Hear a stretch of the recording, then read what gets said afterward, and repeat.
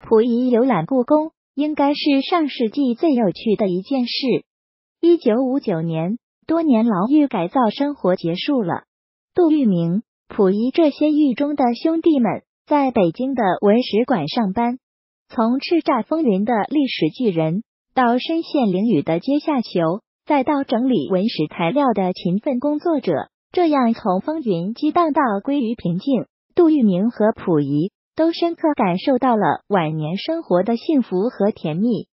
这一天。杜聿明对王耀武、沈醉几个昔日狱友聊天，聊到故宫，杜聿明说：“老溥肯定不敢去故宫，那是他以前的家，去了铁定要伤心。”这话传到溥仪耳中，溥仪直接急眼了：“谁说我不敢？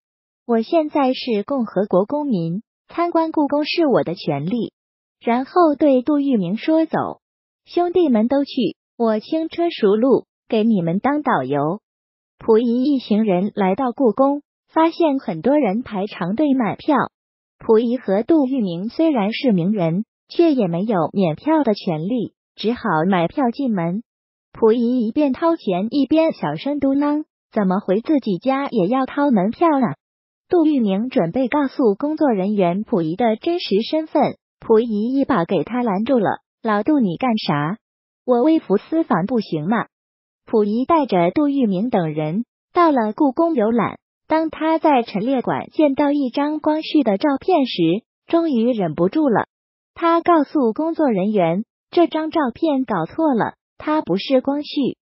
工作人员被他气笑了：“你这个老同志，我们这些陈列的文物都是专家鉴定过的，怎么可能有错？”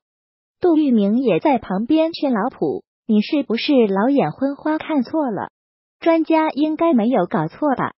溥仪怒吼一声：“我这么可能认错？照片上这个人是我爸，他的名字叫载沣。”就这样，溥仪帮着故宫纠正了一个大错误。于是，故宫里再也没有展出过光绪皇帝的照片。后来，溥仪再去故宫，就能看到自己的照片了。这是因为溥仪是中国历史上。唯一一个留下照片的皇帝。